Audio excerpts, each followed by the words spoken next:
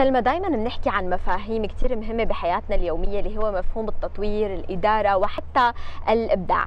هي المفاهيم اليوم يمكن هي مفاتيح تطوير وتنمية الاقتصاد بقطاعات مختلفة رغم الظروف المالية الخانقة يلي فرضتها أوجه الحرب الاقتصادية على بلدنا. وهو ما يسعى له مركز تنمية الاستثمارات الدولية إلى تحقيقه عبر تعزيز الروح التشاركية بين القطاعات المختلفة وتبادل الخبرات. عن فكرة المركز الهدف وشو رح يحقق هذا المركز رغم العقوبات يلي عم تواجهها سوريا؟ رح نتعرف عن هذا الموضوع مع ضيفتنا الدكتورة فاتن نظام أمين سر مركز تنمية الاستثمارات الدولية. سعد صباحك وأهلا وسهلا فيك دكتورة. صباحكم. صباح الورد. أهلا وسهلا صباح الخير دكتورة صباح فاتن. الخير. بالبداية خلينا نحكي أكثر عن فكرة مركز تنمية الاستثمارات السورية الدولية من وين إجا وأهدافه. أول شيء هي الفكرة هي صاحبها وسيدها هو سيد الوطن رئيس الدكتور بشار الأسد. يلي هو من منهجه وفكره وحتى برنامجه الرئاسي بعام 2000 يلي هو قام على موضوع التطوير والإصلاح والتنمية الإدارية والتنمية الاقتصادية. حقيقة نحن كقطاع خاص رديف استمدينا قوتنا من هذا المنهج. يعني إحنا حنشتغل على موضوع كلمة الإصلاح نعم. يلي هو دائما نحن في بكل مكان أو موضوع بيكون أحيانا بيكون عندنا عجز. فنحن حنستعين بمطور لإزالة هذا العجز وبالإضافة إلى تحسين الأداء. حنشتغل على موضوع اللي هو الإصلاح بالطريقة الصحيحة. اللي مثلا أحيانا عندك سيارة أنت مثلا تعطلت فأنت بحاجة لشخص يصلحها. ولكن وين النقطة والأساسية؟ هو إنه أنت تجيبي متخصص بموضوع الإصلاح. التنمية الإدارية حيكون في عندنا استعانة بمدربين بباحثين. حنشتغل على وضع برامج جديدة بنوع الزيادة أو تنمية الأداء الإداري بالشكل الصحيح وحيكون في عندنا مكتبة مكتبة من نوع السيديات أنت بأي شخص قدران هو أو هو قادر إنه هو يطور حاله ذاتيا من خلال السيديات بالطريقة السليمة. أما بوصل هلا على التنمية الاقتصادية، التنمية الاقتصادية أنا هون بدي ألجأ حقيقه للشباب، وأنا بدي وجه إنه نحن اتجاهنا لهي الفئة اللي هي بحاجة إنه نحن نسمع لها، بدي أشوف أنا مشاكلها، بدي أشوف آرائها، بدي أعطيها حلول، نحن دائما الحلول لازم تكون ضمن قدراتهم وطاقاتهم لهي الشباب. يعني حقيقة نحن سوريا غنية بالموارد البشرية يلي نحن كل متعارف عليه وحتى غنية بالعقول البشرية يلي موجودة عنا. ولكن عم بيكون نحن عم توقفنا موضوع العجز أحيانا أنه عم بتكون بعكس القدرات والإمكانيات. فنحن حنشتغل على استثمار هي الطاقات والإمكانيات حأشتغل على نوع من زيادة بالإنتاجية لزيادة الدخل. أما هدفنا هدفنا من هذا المركز هو عبارة عن تحويل الحرفي المهني التجاري الصناعي الزراعي أي شخص إلى مستثمر. وهي النقطة الأساسية من مركز تنمية الاستثمارات السورية الدولية. أنا كل شخص أنا بدي أحوله لمستثمر بمجاله ولكن بأفق جدد جديدة بمفاهيم جديدة ببرامج تنموية جديدة لأنه هو المركز هو برامج هو يقوم على البرامج التنموية. فنحن حنشتغل على هالاستثمارات حعملها حجمع كلياتها هاي القطاعات بمختلفها ضمن خارطة توزيع للاستثمارات الموجودة عندنا نكون نحن صريحين نحن ما في عندي قطاع هلا بأي قطاع يمكن صناعي تجاري أو بأي شيء عنده خارطة استثمار حقيقية. فنحن حنتواصل مع كل الهيئات التخطيط مع اللي خلينا نقول مع الاستثمارات مع كل الجهات الاقتصادية. بدي أتوصل أنا وياهم لوضع حلول ورؤية. أنا أقدر حقيقه مو بس بدي أحط رؤية ولا بدي أحط خطة.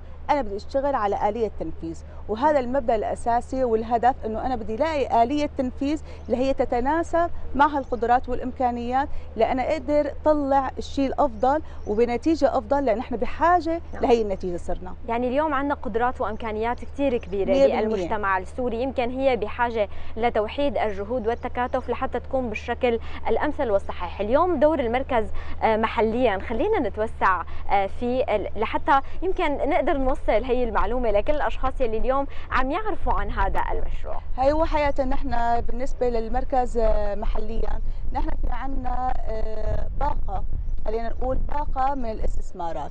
باقه يلي هي حيكون في عنا التعاون آه، بكل المراكز لكل القطاعات. هذا المركز حيكون عم يتعاون مع الكل بإنه أنا بدي أشتغل على استثمار أو تنمية استثمار الإدارات.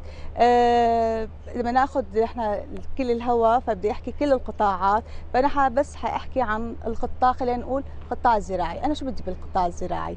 كيف أنا بدي نمي؟ نحن بلد منتج صحيح؟ بس نحن في عنا إدارة الآلية اللي أنا بدي أشتغل عليها. فنحن حنحط خارطة تنمية زراعية.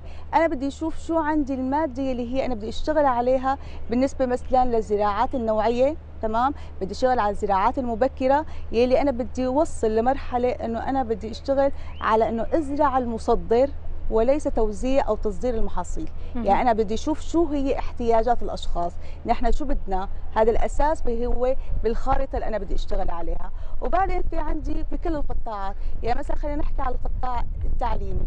القطاع التعليمي اللي هو نحن بحاجة إنه انت أول شيء تأمني فرص عمل صحيح؟ سواء كانت مباشرة أو غير مباشرة. حيكون في آلية معينة في حيكون في خارطة لهذا الموضوع عن طريق المركز بهذا القطاع يلي هو حنشتغل بموضوع التشاركية بالموضوع. وحتى النقطة الأساسية اللي هي حقيقة آه، بتحسي إنه صارت صعبة علينا وحتى بتقهرنا هي تخفيف من هجرة العقول يلي نحن حنشوفها يوميا إنه الطلب السفر أو هجرة آه، هي العقول فكرمال هيك نحن حتكون في عندنا فعاليات كثير آه، قادمة آه، بكل القطاعات من نوع الاستثمارية حنكون بكل مجال محليا ومن ثم حنكون دوليا. أكيد. طيب دكتورة فاتن خلينا نحكي أكثر اليوم كمان عن مجال إعادة الأعمار وكيف رح يكون دور المركز بهذا المجال. نحن عندنا برنامج واضح له مقاييس اقتصادية كثير ضيقة. آه، حنشتغل بهذا بهذا البرنامج إنه نحن أول شيء ما حناخذ منح مادية خارجية تمام؟ النقطة الثانية كمان ما ححط أعباء على الخزينة أعباء مادية على الخزينة. نحن حنشتغل على التعاون مع مقاولين سوريين حنشتغل مع مطورين عقاريين. هي النقطة الأساسية بأنت توصلي للصيغة أنه أنت تشتغلي على إعادة سوريا وإعادة استثمارها ذاتيا. هذا التمويل يلي الذاتي اللي أنت بتشتغلي حنشتغل على وضع آليات وضع دراسات بأيدي الكل شخص بده يشتغل. بمقاييس آه، أو حتى ببرامج بنقول نقول عليها جدا دقيقة آه، بوضع إنه اقتصادي إنه الكل يكون ربحان وبنفس الوقت شيء ذاتي ما كان عندي تكليف أعباء أكثر ما نحن عندنا أعباء بإعادة الأعمال. نعم. يعني اليوم دكتورة بظل الظروف المالية الخانقة يلي عم نعيشها نتيجة العقوبات اللي كثير كبيرة على سوريا وآخرها كان ما يسمى قانون آه، قيصر. هذا المركز كيف بيقدر يحاول أو يقدر يساهم بمساعدة آه، المجتمع السوري. خلينا نحكي بما إنه عم نحكي عن العديد من المجالات آه، باستثمار أو مواجهة هي العقوبات. نحن عندنا برنامجين. آه يا خلينا نقول برنامجين حيتنفذوا إن شاء الله ل يعني خلال لل 2020 أول برنامج اللي هو حينفذ المركز شيء اسمه تنمية الدفع الإلكتروني والحوالات الداخلية. يعني نحن بهذا بهي بهي بهذا الخطوة أو هذا البرنامج أنت بتطلعي من دائرة إنه أنت ما بقى عندك الأجنبية هي آه، ما بقى تتداول تمام عاد موجودة ولا قيمه لها بالتداول الداخلي وبنفس الوقت انت حافظتي على الكتلة النقدية الموجودة بالبلد. أما بالنسبة للبرنامج الثاني اللي أنا بدي نحكي فيه اللي هو عبارة عن الاستثمار البشري واستثمار الموارد البشرية. بقصد فيه استثمار العقول 100% أنا حنتوجه للشباب. هذا البرنامج عبر منبركم الاعلامي نحن حنتوجه للشباب حنبحث بآرائهم حنستمع لها حنشوف شو عنده الرؤية بحلول بكافة الأراضي السورية. تمام؟ يلي هو نحن بالشهر الثامن. نعم. آه، إن شاء الله تحديدا حنطلق آه، شيء اسمه مسابقة الجمهورية لأفضل المبادرات والحلول الاقتصادية لكل القطاعات. حتكون هي أول مبادرة وأول مسابقة من ضمن برنامج وخارطة نحن موجودة عندنا بالمركز.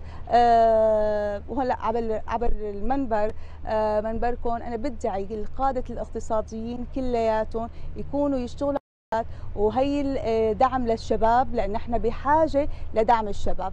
فنحن بداية هدول هيكون في عنا ونحن هلأ صار في الأرقام المركز اللي بحب يتواصل معنا بالنسبة للموضوع إنه اللي بده يستثمر أو بده يدعم هاي المبادرات. نعم.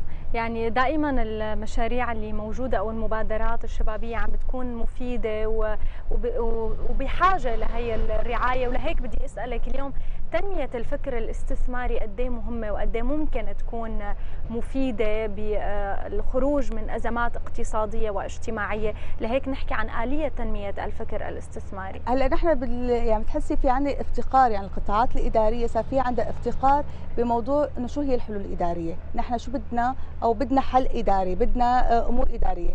حقيقة نحن صار عندنا ضغط يعني خلال الحرب كلياتها يعني صار في عندي ضغط القوانين الجائرة اللي على سوريا وعلى شعب سوريا. هذا كلياته سبب لنا الضغط الكبير.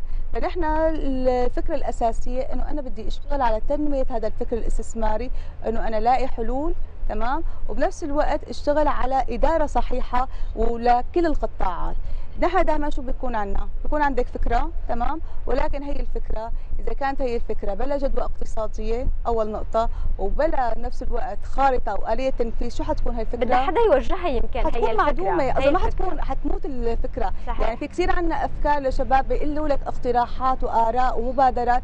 ولكن إذا ما كان في عندك جدوى حقيقه حقيقه اقتصادية آلية تنفيذ أنا ما بقول المهم أعطيك المادة. أنا بدي ساعدك لوظفها لأستثمرها بالطريقة الصحيحة. فهذا الفكر تنمية الفكر الاستثماري. وقت أنت تبني صح حتى للإنسان أنه تعطيه الفكر الاستثماري بأي مشروع بأي قصة ما يكون عندك هذا الفكر فأنت قادرة أول شيء إنه أنت تساعدي أكثر 100% فاجى المركز نحن شو حنشتغل بالمركز؟ أنا بالنسبة لهذا المركز حنشتغل على تبني كل الأفكار حنتبنى كمان كل المبادرات الشباب وبنفس الوقت الحلول اللي حيقدموا لنا إياها.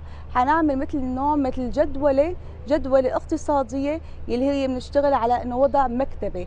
كل واحد بدك حل موجودة بهي المكتبة وضع استراتيجيات وآليات. فنحن الباب أو المركز هو عملي تطبيقي. يعني مثل مثل نحن بالتدريب شلون نحن ندرب وبعدين أنت هي بالتدريب هو بتعطي شيء عملي.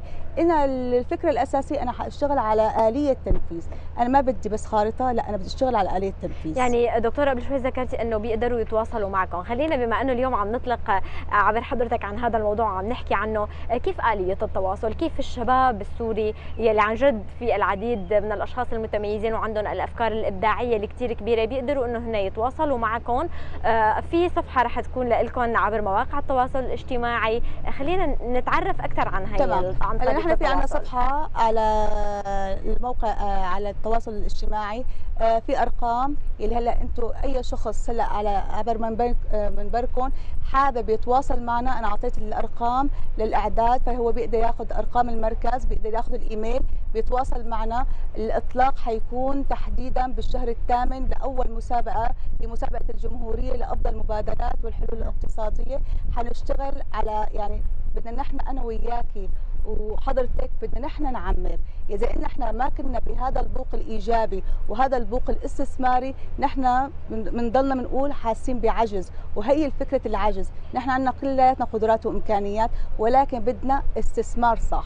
وهذا يلي إجت فكرة المركز فيه. أكيد. يعني معلومات مهمة اليوم أخذناها من حضرتك عن هذا المركز. أكيد مثل ما قلتي الأرقام رح تنزل مرفقة إلى جانب الفقرة على مواقع التواصل الاجتماعي للإخبارية السورية. بدنا نشكر وجودك معنا. شكرا كثير لك. أهلا وسهلا فيكم. تحياتي شكرا, شكرا لكم. شكرا كثير وإن شاء الله بنشوفكم أكيد بالمسابقة وبالمبادرة الأولى. شكرا كثير لك دكتورة فاطمة نظام أمين سر مركز تنمية الاستثمار الاستثمارات. إن شاء الله نتمنى لكم كل التوفيق وكل الشباب بندعيهم إنه هن يكونوا على انتظار آه، المبادرة الأولى يلي رح تقوموا فيها بشهر 8 لحتى يقدموا أفكارهم. شكرا لك